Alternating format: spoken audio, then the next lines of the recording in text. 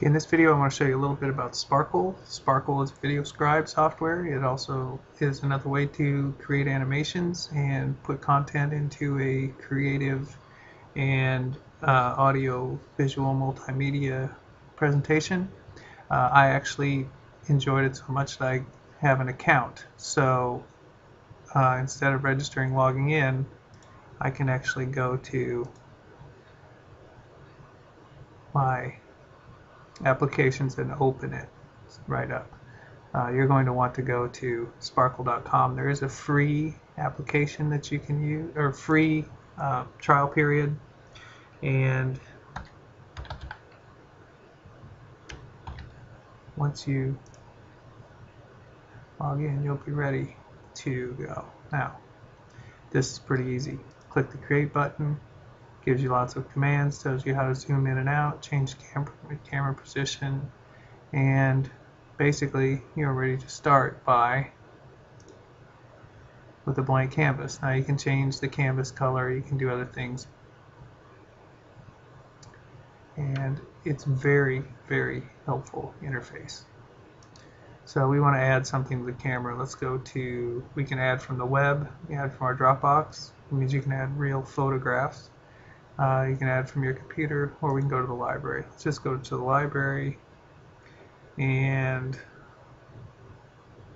oh, I want to go to superheroes. So I'm going to add this guy. Alright, so once he's in, you can rotate him. You can stretch them You can place them on the canvas where you want them to go and you can make them talk. Okay, now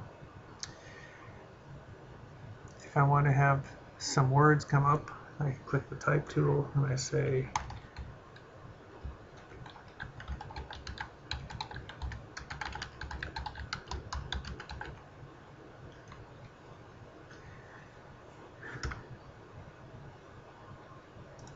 good with that.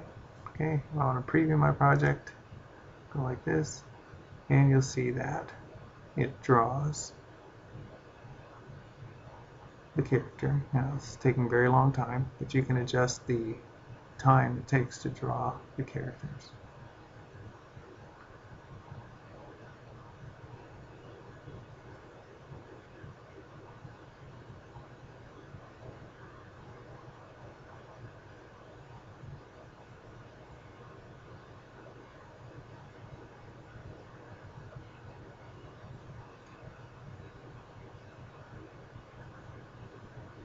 Okay, not the best design choice right there because I put the black text over the black jersey, but I can go in and correct that.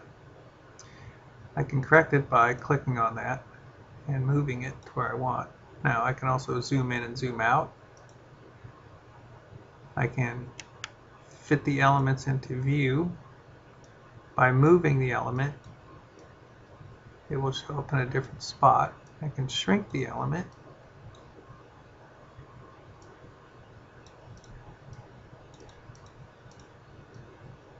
So there's a lot you can do with uh, just by rotating. You, will see that it'll zoom in and out. You can record a voiceover. Uh, you can change hand and paper options, and there are soundtracks that go with it.